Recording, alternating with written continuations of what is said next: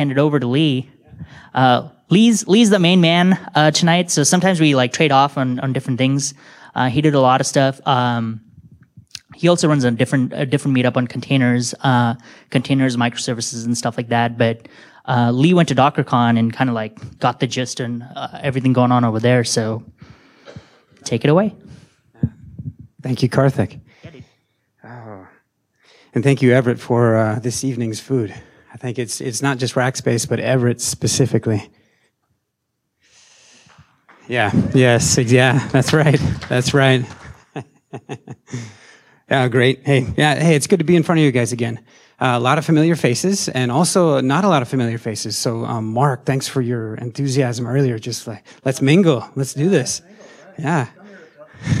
let's meet up. Let's. Do- uh, good to see some of you guys here for the first time. Actually, um, uh, Pradeep asked a great question earlier about, um, hey, getting into container land. What's a good couple of books, or what's a good book to go out and, and get? And I had just noted one of the first ones that I'd picked up, which was um, from James Turnbull. Uh, he was previously of uh, Puppet. Um, he was an advisor at Docker. I don't know that he still is, but he's doing his thing at Firestarter. He's got a cheap ebook. I think it's like 14 bucks. It's called The Docker Book for those that are and he, he tends to what's nice is you buy it once and, and he updates kind of with each release and you just download the new version. So it's kind of nice. Um, so there's a tip. And then are we uh, we're all we're all recording. So gk if you could uh, just keep it down back there while we record. And just uh, Nice. Okay. Well, that's how you guys can reach me. Um, so Karthik went through a few announcements. Um, Raphael and actually Raphael and I spoke um, earlier this week. Uh, the position that he described is just it's a playground for anybody that's into these technologies. So you definitely want to talk to Raphael. It's uh, uh, another thing I want to talk about is just upcoming um, conferences. Who's going to Linux Fest, Texas Linux Fest tomorrow? Yes, sir. Yeah, we do. James, very good if you guys see me there, I'll, or see me there, I'll be behind the um, O'Reilly table, handing out a bunch of books probably, and doing some raffling for uh, uh, free conference passes. So come and heckle me and throw tomatoes. Uh, also, if you go to Chef Conf, anybody going to Chef Conf? Nobody, no, no cookers in the room, no, no recipe people. All right. Well, if you do go, I'll be doing um, a bunch of podcasts with uh, the new stack. Uh, so again, uh, you, you can't get away from me. Uh, also, um, Karthik mentioned another meetup that I organize, um, uh, microservices and containers Austin. I've seen some of you guys there and pointing to GK again just to harass him. Um, the next one that we're going to have, it's unannounced, but I'm going to, this official announcement right now. It's, it's coming up pretty quick. It's July 19th. We're going to host Container Summit. Uh, so, it, the, it'll be uh, about a three hour long um, ordeal. Um, maybe cap it off at about 85 folks, assuming that even that many show. Um, there'll definitely be food and drink. Joyent's going to join us, help organize, video everything. We'll have some quality content, hopefully a lot better than this evening's content. Uh, but uh, uh, so I have to, I definitely have to plug that because that's a fantastic, uh, or I hope that it's going to be fantastic. So uh, again, just you'll have to put up with me for a little bit, I think. But you know, that's a great. I'm trying to figure it out. I don't know. Maybe it might be Rackspace. It might be IBM. It might be ForcePoint. Uh, just a lot of the venues that are come. I've asked, in, inquired about um, Capital Factory. Uh, haven't heard back from them yet. I expect that's a little more spendy than what folks are wanting to do. But so I suspect it'll probably be like from the, the domain on up uh, in terms of location. Uh, so yeah, so this is it right here. Right, plug the hell out of that. Uh, so great. So speaking of meetups, um, like uh, Mark was saying, kind of an interesting um, set of factoids uh, coming out of uh, the Docker's organizers group. There's a whole bunch of these Docker meetups worldwide. There's 253 of them total. So um, Austin is just one of many. And there's a lot of members that have signed up. Obviously, not that many people. Not everyone who's a, mem- a member goes to every meetup, but I thought I'd point this out because it's kind of kind of neat. Austin's on the map in the North American region. Number eight here, a little over a thousand members. So kind of cool. We've been we've been doing this for a while. Uh, Karthik has been doing this a lot longer than I have, and so is um, Everett. So, did you, David? You ask a question, or no? Okay. Uh, Yeah, and I don't know. It kind of goes off the chart with uh, the folks that are over the 3000s, but yeah. Yeah. Bangalore is doing pretty well. Nitin Agrawal is the guy who leads that, so he uh, he's pretty he's he's quite the evangelist. Um, who was here for the Docker birthday party we had a little while ago? Yeah, very good. Yeah. And those are some of the familiar faces I'm talking about. Okay, good. Well, anyway, factoids on that. I, I enjoyed the party. Um, it was kind of nice to get uh, have something that was like really hands on. Um, and some of you guys were help doing some instruction with those hands on, so that's nice. Well, I'm going to go through. Uh, so I wasn't the only one at DockerCon. Um, we just had the the other meetup that I referred to. We just had one of those. Um, where we had Prometheus and Aquasec come and, and demonstrate and kind of talk talk to some things. Anyway, we talked a little bit about DockerCon there. There were some people that had gone. Ian also went, and he's going to talk to you guys later. Demo um, Swarm to you guys. Uh, hey, nice. Uh, nice event. I was at um, DockerCon EU, which was out in Barcelona previously. There was about 1,500 attendees out at, in Barcelona. Here in the U.S., up in Seattle, um, about 3,000 attendees um, many folks got to go up uh, to the Space Needle for free, which was a pretty cool uh, deal. Uh, so the themes, there were about, th- this was a really significant release, you know, conference slash release. The, the things that were heralded at this release were all about Docker 112, which is like, hasn't released yet, right? It's, we're like this close to it coming out. So, uh, anyway, the, the themes were, the first one was about developer experience and the notion that the folks at Docker try to make things really simple, out of the box, uh, batteries included, um, eliminate friction. Uh, you know, there's a lot of uh, operators that focus on Docker and containers, and not necessarily as many developers, or necessarily, uh, you know, just the way in which this portability and the way in which um, you can wrap applications and, and other things inside of containers really speaks to the ops end of it very well and resonates strongly. Also, certainly with developers, um, that was actually kind of I'd seen a, a quick survey done by show of hands um, in a couple of rooms about who, who, sort of identified on one end, you know, dev versus ops, and it tended to be, you know, more ops each time. I don't know what's going on with the camera or with the slides. But anyway, um, they're trying to simplify the tools, and they say that the best tools should get out of your way. You really, you know, they should just be there for you. They should adapt to you. You shouldn't have to adapt to them. Um, uh, the point here being is that there has been in beta for some time um, a much more native integration and way of running Docker on Mac and Docker on Windows. Who's been who's participated in the beta? For that stuff. Most of you guys, yeah, nice, okay. Uh, so the beta label is essentially coming off. There were about 70,000 beta testers, and so, um, you know, so yay, uh, beta is almost done as soon as 112. Uh, I'm sorry, the the the beta previously was closed. Uh, it's now open for anybody. So if you guys don't have it, go get it. Um, they they talked about the notion that you know, c- coming into c- create the Docker for Windows, Docker for Mac, the what what lies under the covers looks really rather f- similar um, in terms of the the individual components that that make that that make these up and deliver them. Um, a lot of the the, some of the folks that they, Docker had acquired um, that were focused on unikernels have, have helped in building out these capabilities. Uh, so essentially, yeah, it's a public beta. Anybody can go get it. You don't have to wait for your key. It's really nice. I'm going to probably show you guys a little bit of that here in a second. Um, the so if you're not unfamiliar, um, as you use, I'm going to talk about Docker for Mac since that's sort of what, I where, that's, that's, where my head's at. But I think a lot of this is the same across the the, the two. The VM you still run a VM. In this case, um, whereas you were, were, running kind of Docker machine in like a VirtualBox VM before, you're now running um, an Alpine Linux VM uh, called Moby. Um, is that sort of the name they've given it?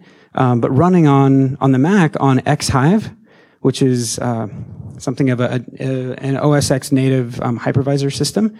Um, in Windows, it's on Hyper-V. Uh, I'm not, you know, Does anybody know, is there a specific version of Windows that they're using for Docker for Windows? 10. Very good. Okay. So I'm, you guys aren't the only people learning today. Good. Uh, so one one of the neat things about Moby about the, these VMs is that um, they are set to uh, reset every time you restart the VM. So if you're in there mucking with it and screw something up, you just restart it. And for the most part, it'll reset. It's a little more complicated than that. I think there's some specific configurations that you can tell to persist beyond you know, reboots, but in general, uh, that's the theme. Um, on that, uh, you know, there, there's a few times where you know you, you do need to get at the VM and you do want to run some things on that host. Maybe it's applying an AppArmor profile or or or you know or whatever you need to do. Uh, as I've understood it, there's about three ways to get in and and uh, get at, get on the VM. One way is to screen in. Um, the other way is to you know a couple different ways to run um, other containers that can help you get into get into that VM. So I'm gonna let's see if I can't maybe single-handedly demo some of this. So um, this is familiar to the vast majority of you guys. Uh, there's there's the whale up there. It's running. Um, we can go in and interact with the VM. I'm just going to demonstrate that there's kind of a difference between these two modes.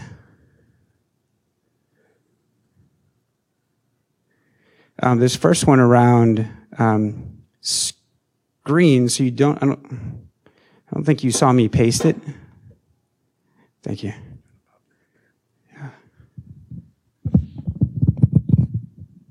Thank you, Everett. So I'm not sure. My terminal is a little bit off. Maybe I'll just try to start this up again.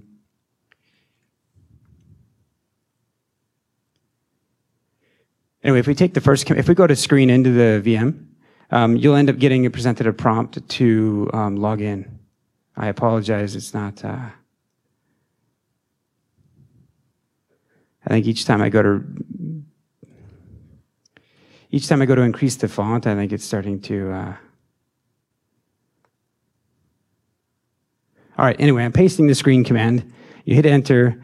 Unfortunately, it, it should be looking like a whale saying, "Hey, welcome," and presenting you with a, a user prompt. Um, anyway, the username is root, uh, and there is no password. So uh, I don't know how publicized that is, but it's. Um, the other one is, maybe I won't demonstrate this, but anyway, you just go and run a um, run a, a privileged container host or um, a privileged container rather, and then you are uh, dropped in, and so you don't need to log in. You're already on the uh, VM. You're inside Moby. Okay. Well, anyway, that was really critical to me during a couple of things I was trying to do um, on the host itself. So. Um, I'll, the, the slides will be available so in case anybody actually wants those commands. So, um, the second area, and this is probably where we're going to spend a lot of, more of our time, or the most of our time, is on orchestration. So, 112 was, um, you know, it's a dot release. They're going from 1.11 to 1.12, but it's significant. It's um, arguably um, the most, I don't know, the biggest release that, that Docker has had since they first GA'd the 1.0. Um, what's happening here is the inclusion of Docker Swarm into the Docker engine. Um, so from Docker's perspective, the best way to orchestrate Docker is using Docker, not necessarily Kubernetes, Mesos, Marathon, Nomad, other things. Uh, so there's a lot of, um, uh, I'll, maybe I'll just say it once. There's uh, some political ramifications to, you know, the choice to include Swarm into the engine. We'll leave it at that. Uh, but let's talk about what does that mean now that Swarm's inside there? It's, it's uh, Swarm is now, you know, in the engine, um, but that also comes with a couple of new constructs. One of those constructs is this is a service.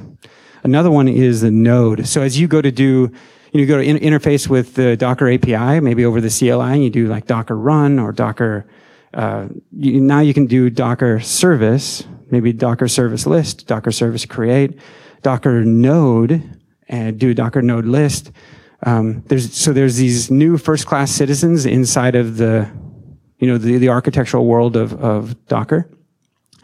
part of what was delivered in 112 is cryptographic node identity. So I just um, did a podcast on Monday with Nathan McCauley. I'm not sure if you guys are familiar with him. He's the director of security at um, Docker. We talked a lot about cryptographic node identity, but also just security across Docker in general. And um, one, of the things that's just re- there's a couple things that are happening in, in here, and one is the notion that every node gets a unique ID. It gets a, a, a unique key created to identify that node uniquely across across the environment. And actually, nodes aren't the only thing that get unique IDs. Users, all of you guys who signed up for Docker Hub, you've got a, a login account, you've got a unique ID there. These nodes do as well. Other things that have unique IDs are images. As you've gone to, well, and images and also run, running instances, right? They all get IDs. Those IDs become really important in terms of security. A lot of, yeah.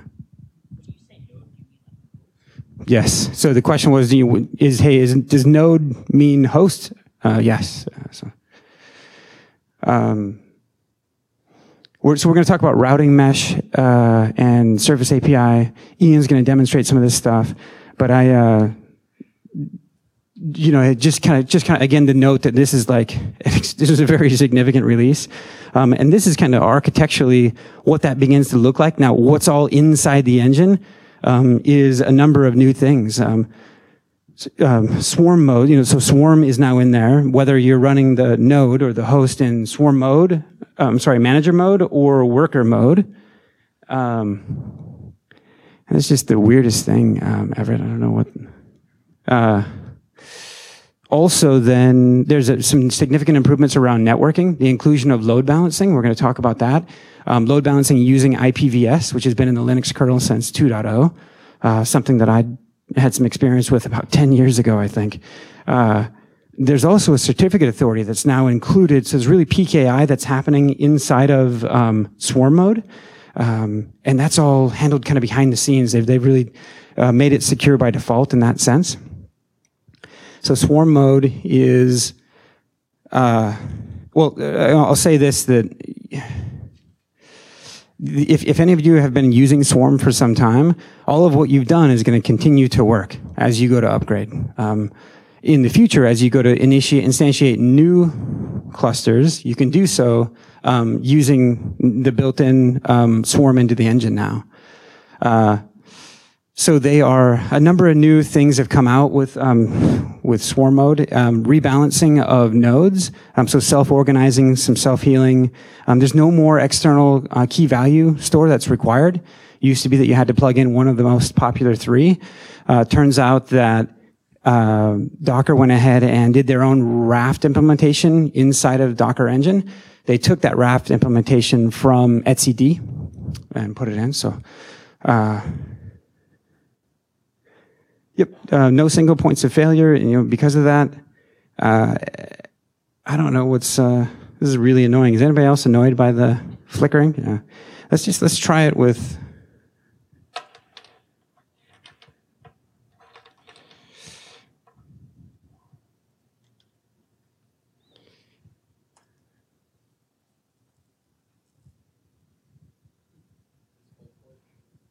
Oh man.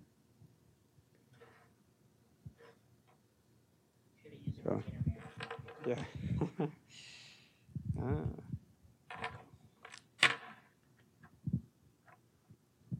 Okay. Okay, so we were just saying that there's now a, a, certificate authority built into the engine, and that public key infrastructure uh, is what helps provide the cryptographic node identity. Um, so it's government grade. It's secure by default. It's end-to-end TLS. These keys are, uh, these certificates are generated on your behalf as you go to join nodes to the cluster. Um, the communication between them is, you know, encrypted using TLS. The, there's automated key rotation that happens. Uh, by default, every three months, uh, the keys are swapped out. That's certainly configurable. Um, and you can choose to revoke a node from the cluster at any time if you want to. Uh, at this point, I can only think it's my laptop. I don't know what to. Um, oh, oh, okay. Well, this makes it fun. We'll to, all right. So, um, uh, how many of you guys are familiar with the uh, Center for Internet Security? Uh, oh, all right. Yeah, very good. Okay. Yeah, um, I've written on. i am so I'm part of that uh, um, standards body, if you can call it that. I think you can call them that. They end up putting out a bunch of benchmarks on various technologies in and around security. And so they put out a Docker benchmark um, quite some time ago that just says, here's a checklist of things that you want to do to make sure that you're running Docker securely. And with each and every release, uh, that gets updated. And so I'm had just been kind of active with um, the next version, the, the unpublished version of what will come next for uh, Docker 112. And so, you know, a lot of it's sort of in and around Swarm, um, and some suggestions on what to do and what not to do in terms of 112. So this isn't published just yet, uh, but uh, maybe a couple I'll call out here, and I think Ian will even maybe show you some of these. Um, there are and, and, and Everett was noting this earlier, but there's as you go to you know create your first node and you, you maybe set that as your manager. Um, as you go to bring up another node and have it join that cluster, um, you can set a passphrase. Uh, you can create a passphrase and make sure that anyone who wants to join has to present that passphrase. Well, that's not necessarily set by default, uh, and so you need to go set it. And anyway, there's just a couple, a couple of caveats to, to note to make sure your environment's secure. So the Docker, I said Docker service is now this new construct. So previously, when you're running, um, really, if you're running applications using Docker alone and just Docker software, you're probably likely to find that not all of your applications needs are met. A lot of applications need um, load balancing between them. Uh, maybe you're running a, a, a series of web hosts and, or you know, REST endpoints that need load balancing between them, and, and the way in which you know you need to bring in third party software to help um, deliver those types of services. Well, that's no longer with 112. Um, you can go out and describe a service, how many replicas of that service you'd like to have up. Um, and as you go to do that and create the service, uh, a virtual IP address is created. Um, so that IPVS that we mentioned earlier uh, is created and used to uh, have load balancing out of the box. Load balancing is kind of behind the scenes with Docker service. Yeah, David.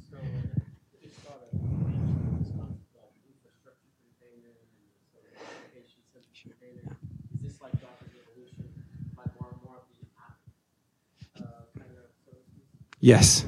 Yeah. Um, I want to digress and answer that question more fully. So, um, David had the unfortunate um, uh, experience of listening to one of my uh, a previous talk that I'd given at a different um, meetup, and I started to describe the difference between an application container and at the time I called it an infrastructure container. And I think I think I'll use a different term and call it a machine container. And and the way in which I think I've even got a much better description of this now because I've been studying um, LXD uh, a bit. Um, so an application container is conceptually pretty small, probably singularly purposed, probably something that you just never SSH into. And it's intended to do one thing, maybe, and that's it. Whereas like a machine container or an infrastructure container, um, and really technologies like LXD, LXD, if you guys have come in, come to that, it's from Canonical, um, built into Ubuntu now, is um, it really intended to run longer living um, system containers, machine containers that are in fact more of a full Linux system that you would SSH into and kind of do things inside of. And so uh, there's a little bit of a just nomenclature uh, clarification there. Uh, and then to David's question about like, hey, is Docker stepping into and really beginning to focus on application needs? Yes, absolutely. That's all, kind of all what this is about. One of the things that they brought here is the notion that you need to scale apps. The notion too that you need to, that your apps and their code change over time. And so there's the ability to perform rolling updates on, you know, moving your app from one version of code to the, or one version of that image really to the next and having some control over that. And Ian's going to show you some of that. You know, I don't know that that is. This is really building upon things that were already in Docker Swarm um, previously. Um, so some of the way in which these things get, there's some new constructs for, for sure, but there are also some some scheduling strategies and constraints and filters that are built upon what was there before. Um, yes, the scheduler is um, overall supposed to be um, pluggable. Um, and certainly as you go to have, uh, certainly you don't necessarily need to turn on Swarm. You can use Kubernetes, for example, to, and its scheduling to schedule your Docker containers. Um, so.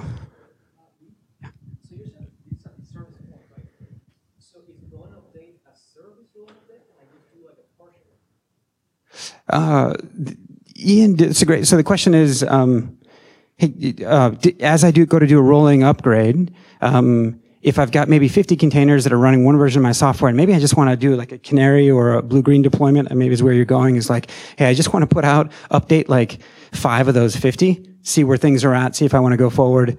Uh, maybe even have automated rollback. Um, you know, I don't, of what I've seen, I don't think that there's that level of granular control. Um, and if, for those of you guys who have heard me talk on container orchestrators before, uh, Swarm is just, it's a younger than the other. It is just not as advanced. So it's a, yeah, I don't, I haven't heard that that use case being satisfied. Just, so hopefully none of the Docker folks are watching this recording. So just, but, uh, but anyway, it's just the truth. And they're moving very fast. They really are. They've uh, actually, I think with the 112 release, undone much of what I'd written up and spoke to before. So, um, you know, kudos to the team. A little bit about uh, that IPVS and this load balancing. By the way, IPVS, um, if I recollect, is um, IP Virtual Server, uh, which is about creating virtual IP addresses, VIPs, and, and balancing between them. Um, they've got uh, basically this construct of uh, a routing mesh. Um, really kind of a neat concept that I'd like to see some performance analysis done around. But this concept of the notion that uh, you can have, you know, a number of hosts, maybe 10, and maybe you've got three containers that you'd like to load balance between. You can use the load balancing that's built in now to do that. But maybe that initial request for that's supposed to go to one of your three containers, uh, which are on the first three hosts, maybe that request goes to like the 10th host. They've built in this routing mesh to say that's okay. That 10th host will accept it look up where it needs to actually go and route your traffic over to, So really like a very highly fault tolerant configuration. There's got to be some amount of overhead for that, but that's a pretty, pretty cool deal. Somebody brought that up, and one of the talks was like what the overhead involved with that was. I believe the engineers said that because they were using that, that kernel-based system, that it was extremely low and, and very fast, not enough that they were concerned with that. Nice. Okay. Did everybody? Yeah. So that, uh, and they, I know they, um, yeah.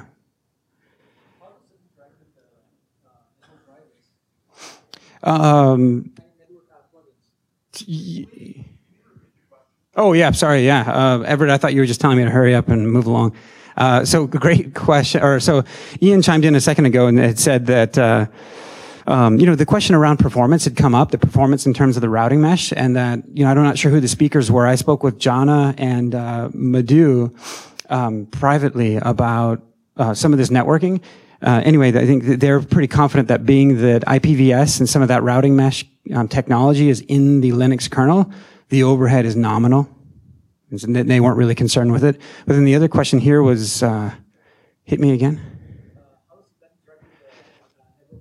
Yeah, it was a great question. So, um, I intend to give another talk fully on just deep diving on container networking, and there's a lot, of, a number of plugins. Um, I, uh, I uh, it, so the question again, I'm sorry, geez, I don't even think I repeated it, which is, hey, how does how do these new capabilities interface with networking plugins? So you can, you, know, you, you can use the default, the native um, Docker drivers, uh, which provide uh, host connectivity or a bridge connectivity or no networking at all, or overlay using VXLAN. Um, you can also plug in a bunch of other drivers uh, from third parties. In 112, um, they're coming out with uh, support for Mac VLAN and IP VLAN, which are going to be great for brownfielding exercises in existing data centers but to your question, um, yep, my understanding is that those drivers are all still very pluggable. That these, like the this service construct, if you were to run Docker service create and and and have load balancing instantiated, that it's the expectation that that request would get passed off to the driver that that my understanding is that, that they've and what, from what I've seen from Docker, it's been pluggable through and through. So right now, right now in like 111, if you go and request a new network, um, there's kind of two parts to that request. One is cr- the creation of the network, the subnet, some of the, the the network stack that, that belongs to the container, and then also um, IP address management, IPAM. And, and so and, they're both pluggable, and bo- both of those requests get handed off to the plugin. So in terms of handing off a load balancing request, I got to imagine that that's they just hand off that request to the plugin. I haven't seen it though.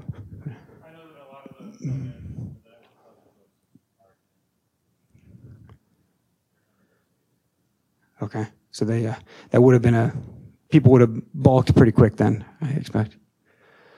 Um, let's let's uh, walk through maybe some you know some other slides on the topic. Um, I think this, this, this visualization is going to help. Let me go back.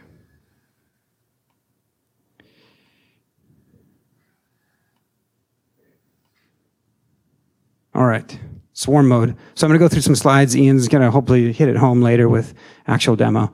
How do you get swarm up and going? Um, so you start with a node. You start with one one host. Um, on that host, you go, you give the command docker swarm init that initializes that uh, that node as a, essentially as a, a, a manager. Um, then you go to your second node and you um, point it to your first manager. So you start to get some, you start to point nodes at one another. Um, they go through some leader election to make sure that there's always uh, a quorum of managers available. As you go to create new services, in this case, I think the example is about Redis, if I, or just some front end web server. You want three replicas of them. Um, you know, maybe two of them land on one node and another one lands on, on the other node. Um,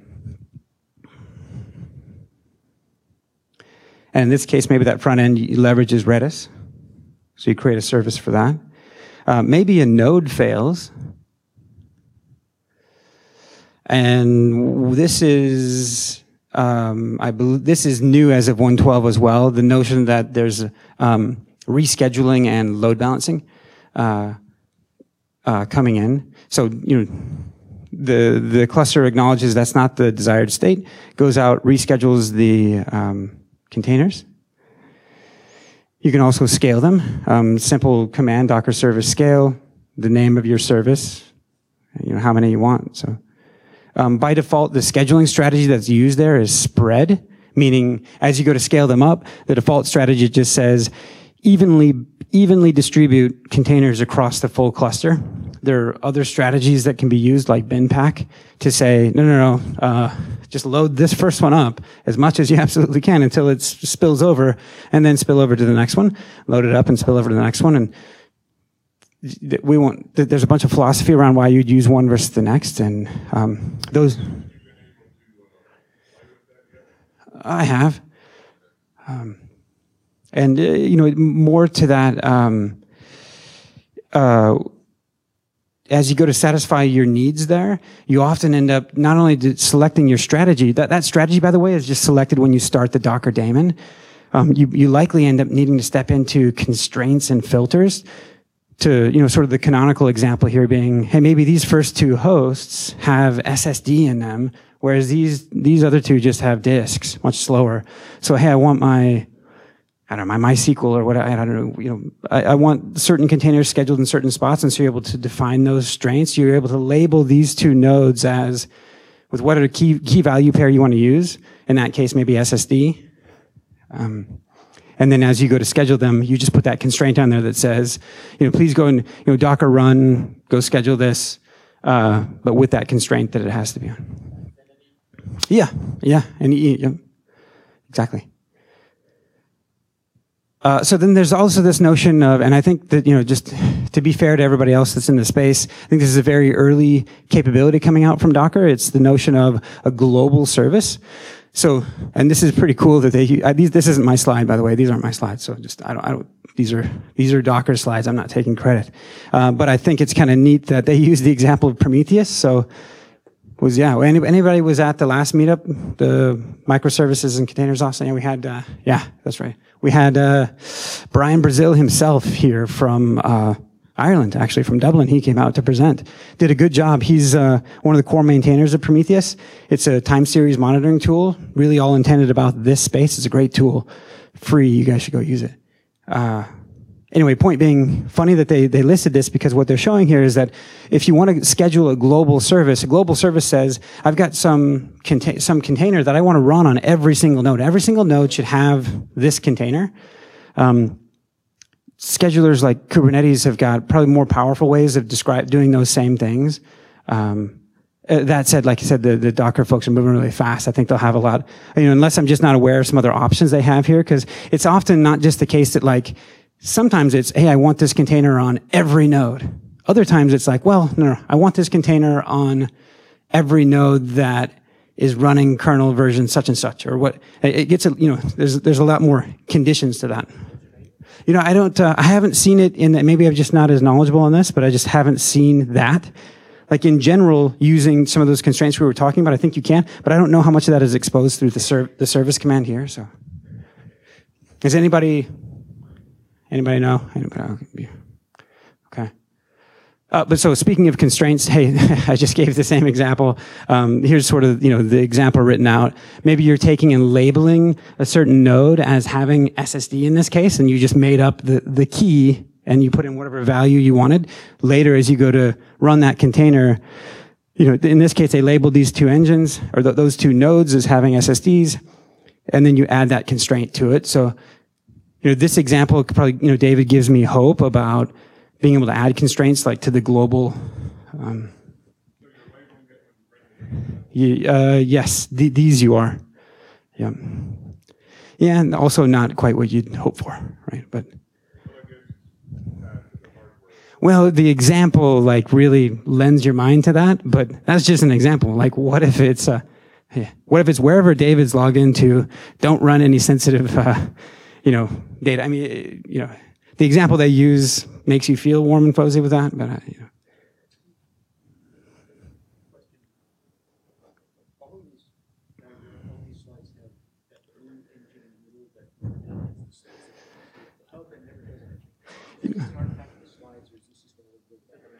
It's probably yeah. It's intended to represent the manager. Um, it's probably you know a little bit a bit misleading. Most of the time, you'd have a quorum of at least like three man. Like in any decent sized cluster, you'd have like you know three managers that have, are maintaining that that quorum. One that's the active manager, the other two that are standby and just waiting for the first guy to, to croak. Um, you know, it is possible to have this guy running workloads as well. I think in these slides it just you know weren't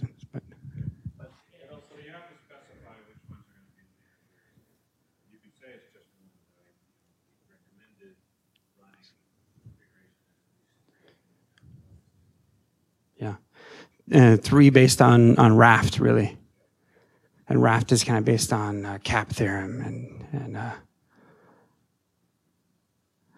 uh, so yeah, just playing out that constraint. Um, anyway, we'll, we'll kind of speed this up. I think you guys get the point of that. Um, also, I'm going to save um, a little bit of the routing mesh for a different talk. I'm just, I'm not going to do it um, justice. Uh, these slides are available though if you guys want to go through them. There is one thing um, that also back to what David had said before about Docker getting towards um, applications and the needs that you have for applications is the ability now to perform a health check, to define a health check uh, for the for your containers, and in this case, you know, like execute a remote script that's supposed to return a certain value, and uh, this is fantastic. This is much anticipated. This is great. You know, I think there's uh, twofold. Um, yes is the answer. So, sorry, the question was, is this tied to the Docker file? Can you define a health check in your Docker file? Uh, yes, you can. Uh, you can also define it uh, on the at runtime. So Docker run such and such health check. Either way.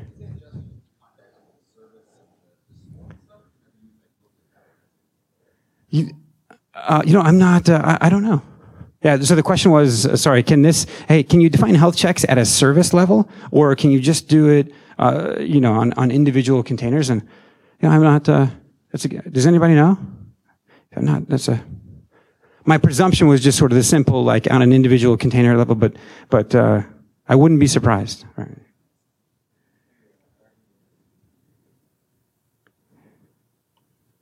Okay. Boy, when's that pizza coming in here? Oh, the pizza is here. Okay. Yeah. Good. Um, yeah, good. Nice. Okay, good. I've got way more slides than I should have uh, had here. Let's do one other walkthrough. Uh, and I'll see if I can't beat you guys to the pizza. Uh,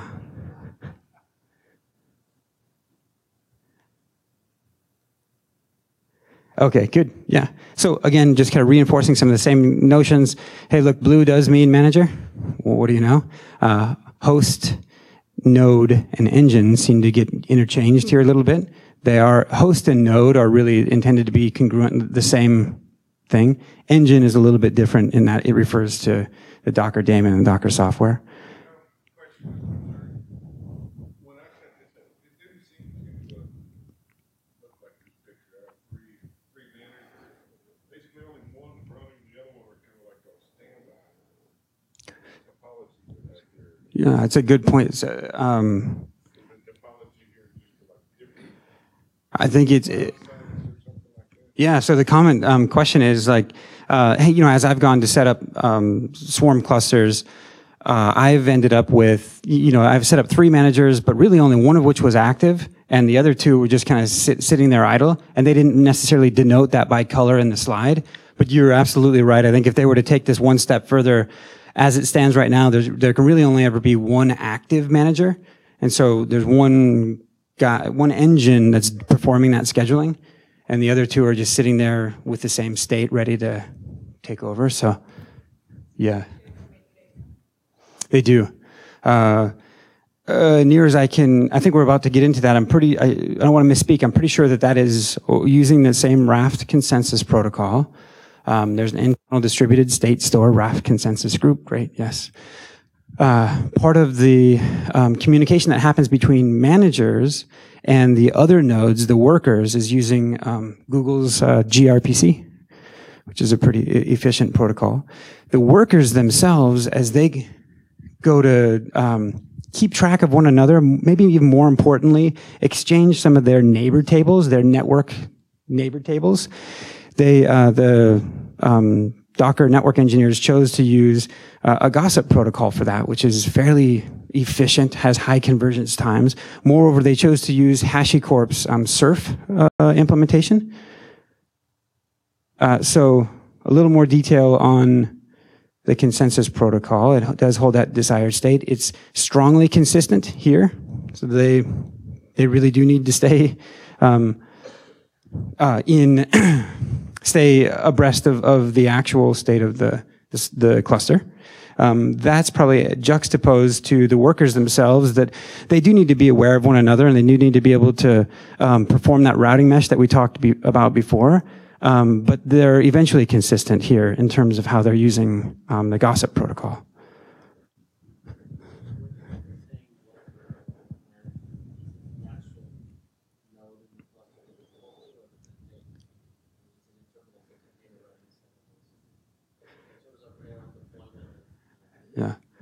So. Yeah, so, uh, so I think you know, if I got the, the question right, it's uh, you know as we're as we're using the terms um, nodes and workers, and probably better managers and workers rather is that yeah. So they're all they're all nodes or they're all hosts. Um, some of which are specially designated as managers, and they they do the scheduling and kind of keep track of the cluster, who's up, who's down, who's got what workloads. And then these um, workers, I think the, the question was, um, or maybe I'll just try to answer the question, which was, um, the, the, right? We're, yeah, in this case, this is like a bare metal machine, and or you know could be a VM. And in the manager, when they deploy the software that function, is that a container itself running on the manager node, or is it, no, it's a Yep, it's just yeah, binaries installed on the, the host. On the, yeah.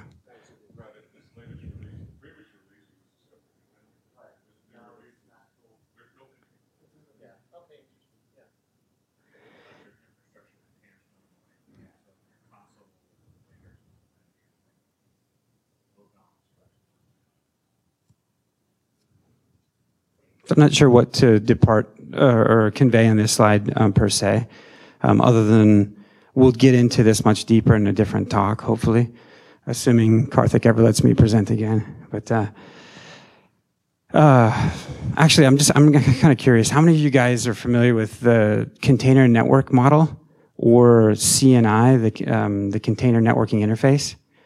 And just and or is anybody interested in like really deep diving on uh, container networking? Good. I enjoyed your Mesos talk, by the way. It was good. Yeah. Um, good. Okay. We'll, we'll do that. We'll talk about IP, IP VLAN and Mac VLAN too. Those are cool. But anyway, the, I don't know that there's really anything cool here other than just try, it's trying to articulate how IPVS works and the routing mesh. And um, all right. Yeah, uh, pizza break sounds good. I'm, I think I'm sucking wind anyway. So good. Okay, yeah, pizza break. We'll come back, uh, ask more questions, and then get Ian up here. All right.